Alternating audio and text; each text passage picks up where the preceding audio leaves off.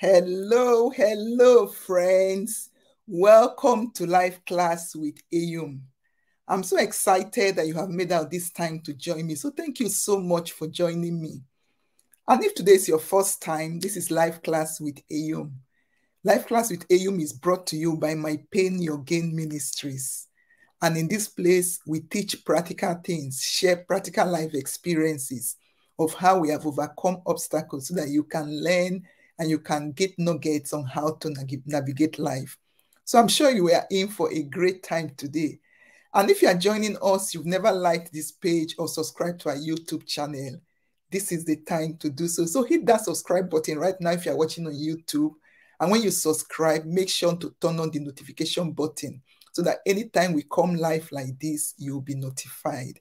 And if you are watching on Facebook, like us so that you can also get notifications from us and join us to be blessed.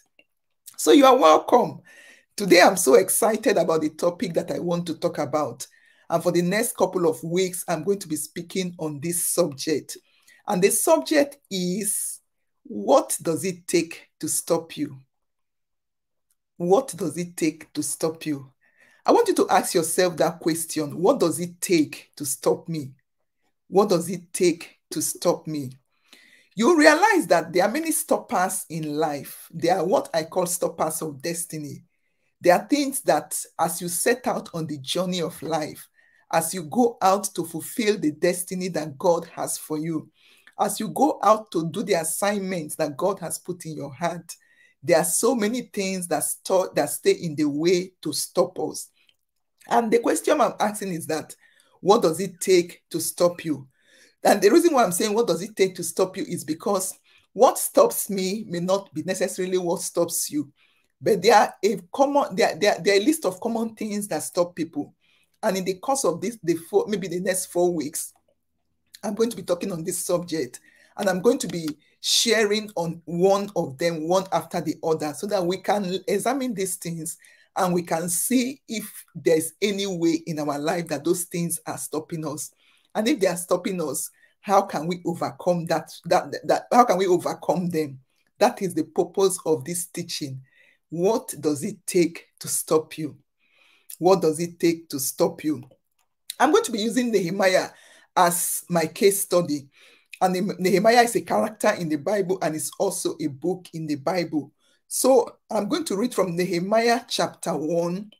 I'll read verse 2 to 4 because of time. And then I'll, mo- I'll, I'll move on to um, verse 11 in chapter 1 again. So Nehemiah chapter 1. So if you if you have your Bible, you can open with me. This is a study time. So you can read it for yourself and see that what I'm saying is actually from the Bible. So Nehemiah chapter 1, from verse 2, it says, it says, Hanani, one of my brothers, came to visit me with some other men who have just arrived from Judah. I asked them about the Jews who had returned there from captivity, um, about how things are going in Jerusalem. Verse 3 says, They said to me, Things are not going well for those who have returned to the province of Judah. They are in great trouble and disgrace. The wall of Jerusalem has been torn down and the gates have been destroyed by fire. And of course, if you go to verse 4, it says, when I heard this, I sat down and I wept. In fact, for days I mourned, fasted, and prayed to the God of heaven. And he went on in verse 5, continuing to, to, to mention the prayer that he prayed. And then when I jumped to verse 11, it says, one of the prayers he prayed was that, Oh Lord, please hear my prayer. Listen to the prayers of those of those of us who delight in honoring you please grant me success today by making the king favorable to me. Put into his heart to be kind to me. Praise the Lord. May God bless the reading of his word. So, yes, I just read that portion to us just to bring out what I'm about to talk about. So, I'm talking about what does this take, take to stop you? And then before I even continue, I want to read, I want to read again chapter 2 of Nehemiah chapter 2, I'll read verse 1 and 2, and then I'll move to verse 10. So, Nehemiah chapter 2 now, verse 1 and 2. It says, early the following spring, in the month of Nisan, during the 12th year of King Artaxerxes' reign, I was serving the king his wine. I had never before appeared sad in his presence. So the king asked me, Why are you looking so sad? You don't look sick to me. You must be deeply troubled. Then I was terrified, but I replied, I'm, going, I'm not going to eh, mention his reply there now, but you can go on and read the whole chapter for yourself. Read the whole of chapter 1 and chapter 2. And actually, during this month, I encourage you to read the whole of Nehemiah. It's just a few chapters. So I want you to note that I was deeply terrified. And then when I jump to verse 10 of the same Nehemiah chapter 2, verse 10 says, But when Sanballat the Horonite and Tobiah the Ammonite official heard of my arrival, they were very displeased that someone had come to help the people of Jerusalem. All right, so what does it take to stop you? What does it take to stop you? I said there are so many stoppers in destiny. As we set out to fulfill our destiny, you find that a lot of things are going to raise up their heads to stop you. And when we talk about, even though I'm saying, what does it take to stop you? Sometimes the question can be, who does it take to stop you? because sometimes it is things that stop us and sometimes it is people that stop us and when i'm talking about people that stop you you can also be one of the people that stop yourself so what does it take to stop you or who does it take to stop you?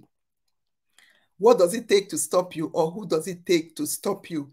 Today i'm going to be looking at fear. Fear.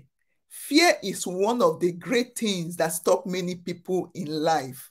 The reason why a lot of people get paralyzed, a little, uh, the reason, and when I'm talking of paralysis, I'm not talking of just physical paralysis, I'm talking of being weakened, that they cannot go out and do those things that are in their hearts to do, is because of fear. Nehemiah chapter 2, verse 2, where I read, Bible says, Nehemiah mentioned there, he said, I became terrified when the king asked him, Why are you sad? You don't look sick to me. So why are you sad? Something must be troubling your heart. Nehemiah said, the, the version that I read, which was the New Living Translation, says, I was terrified. Some other translation will say, I became, some other translation says, I became dreadfully afraid. I became dreadfully afraid. So Nehemiah was scared. He was scared to death, as people will say when the king asked him, Why are you afraid? And when I read that, the question that came to me is that what was Nehemiah afraid of? What was Nehemiah afraid of? Of course, I believe he had genuine reasons to be afraid. Because the custom as it was then that is that you don't appear before a king with a sad face. Because one of your one of your job as a subject of a king, as a servant of a king, is to make him happy. You are there to make life comfortable for him. You are not there to add um, distress to his life.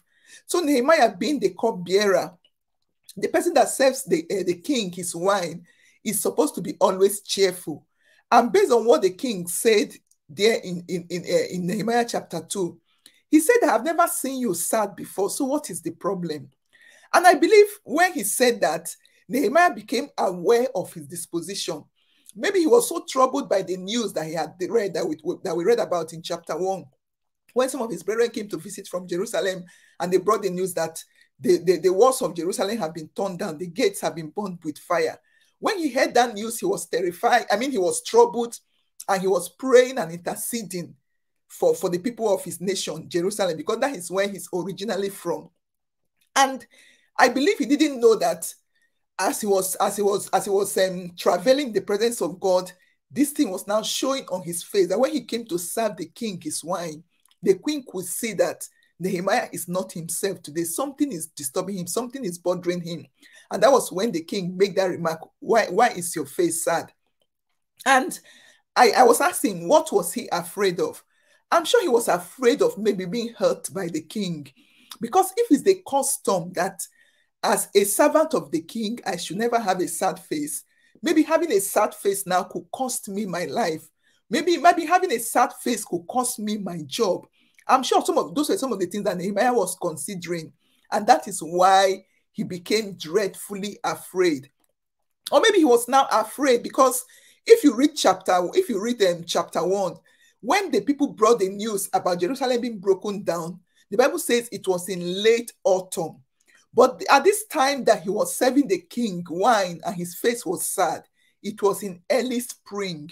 That is to say that there was a time gap between when he heard the news and when he was serving the king wine. And I'm sure during that time gap, he was still praying, he was still interceding. And maybe it was when he came to the peak of when this thing ought to go through. That was when he was no longer able to hide his face any longer. And that was when the king could notice that, yes, Nehemiah, your face is sad. So, what was he afraid of? Probably he was afraid of being hurt. He was afraid of losing his life. He was afraid of maybe losing his job. And that is why he was afraid. So, bringing it closer home, when we ask ourselves, what does it take to stop you? What does it take to stop you? My question to you is that what does it take to stop you? I'm sure fear has stopped you in one area or the other. Or maybe fear is still stopping you right now. Does it take fear to stop you from doing that which God have asked you to do? Does it take fear to stop you from stepping into the next level that God has for you? What does it take to stop you? Somebody once defined fear as false evidence appearing real. False evidence appearing real. Because most of the time, the things that we are afraid of, if you end up getting up and confronting those things, you will discover that they are not as bad as you, you think they were. They, they, they, they, they did not have the consequences that you think they were going to have.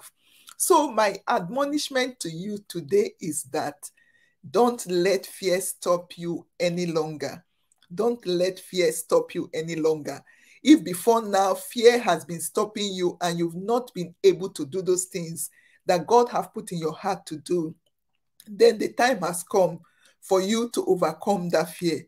Because many times the things that you're afraid will hurt you never end up hurting you. And then another fear again, because there are so many kind of fears that we have. We have the fear of being hurt. We have the fear of rejection. That is another fear. So many times people are stopped in life because they are afraid that people will reject them. They want to take a step, but they, because but they feel that taking this step might make me feel uh, uh, fall out of out of um, friendship with certain people. It might make certain people not like me any longer. It may make people to reject me, and because of that, they stay back. But I want you to remember, brethren, that Jesus Christ, who is our perfect example, was rejected. So it, rejection should not stop you. As a matter of fact, when you are doing certain, if you are doing things and everybody is accepting what you are doing, you should question what you are doing. You should question is this in having the impact it ought to have? Because rejection is part of the process of growing. It's part of the process that you are stepping out of your comfort zone, you are doing new things. So don't let rejection stop you. And then another fear that can stop us again is the fear of failure the fear of failure. This fear have crumbled so many people. A lot of people don't do things because they are afraid to fail. So is the fear of failure stopping you?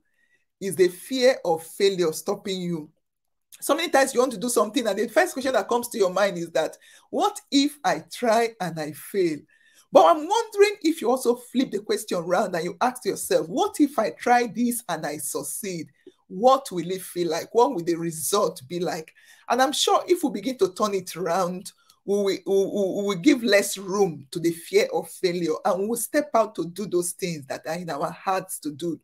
And each time I think of the fear of failure, the story of Thomas Edison comes to my mind. I'm sure many of you may have heard the story of Thomas Edison, how he failed several times, failing quote now, when he was trying to invent the light bulb. And as a matter of fact, after he did the experiment 10,000 times and he did not still succeed, a reporter came to him and asked him the question.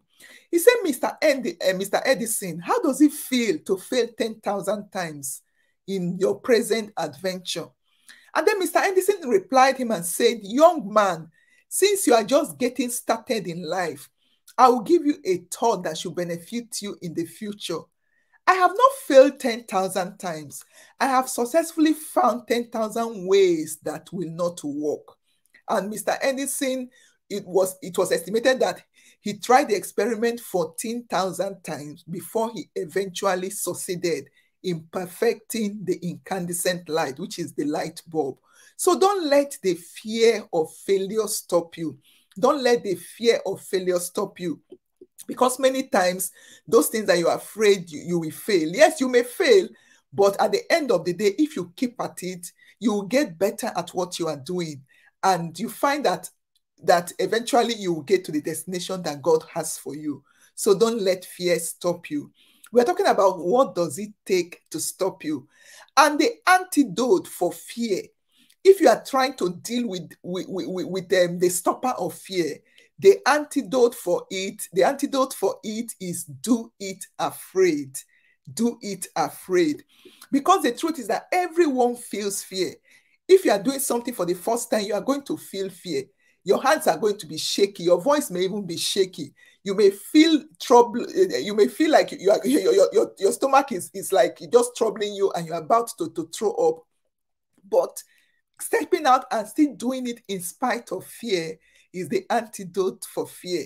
And I heard Joyce Meyer say that one time, and it radically changed my life because I said, Wow, it's not when God says, Don't be afraid, it's not that you will not feel fear, but it means that step out in boldness and do it in spite of fear.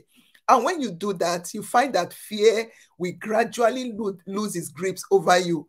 If you were so frightened the first time, and you do it the second time, you may still be frightened, but not as much as you were the first time.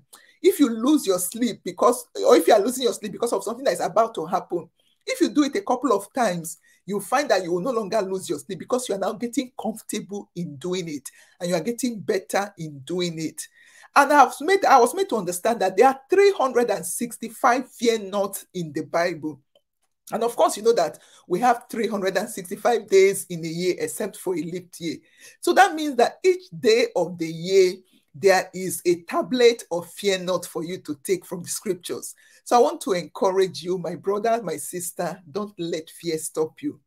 Don't let fear stop you. So my question to you today is, in what way is fear stopping you?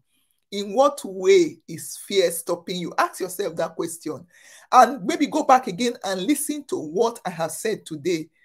Don't let fear stop you. Don't let fear stop you. Every one of us experience fear, but the difference is that why some people allow it to stop them, some never allow it to stop them. And that is why those that never allow it to stop them keep moving forward. So thank you once again for joining me today. And I want to end with this quote by Winston Churchill. The quote says, Success is not final. Success is not final.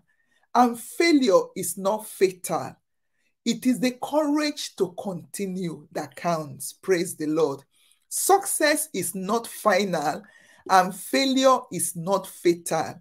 It is the courage to continue that matters. So don't let fear stop you. The fear of failure, the, the, the fear of rejection, the fear of being hurt, or whatever kind of fear that you may be feeling that I have not talked about today. Don't let it stop you. It is time for you to get up and begin to fulfill that glorious destiny that God has for you in Jesus' name. And if you are watching this, you've never given your life to Jesus Christ, I want to encourage you to do so right now. Because one of the advantages that we have as children of God is that you, we have the Holy Spirit that lives in us and He's there to strengthen us. When we feel fear, we can cry out to God and He helps us and gives us the courage to keep going. So if you are watching this, you want to give your life to Jesus Christ right now, I want to give you the opportunity to say so, to do so by saying this simple prayer after me. So repeat after me.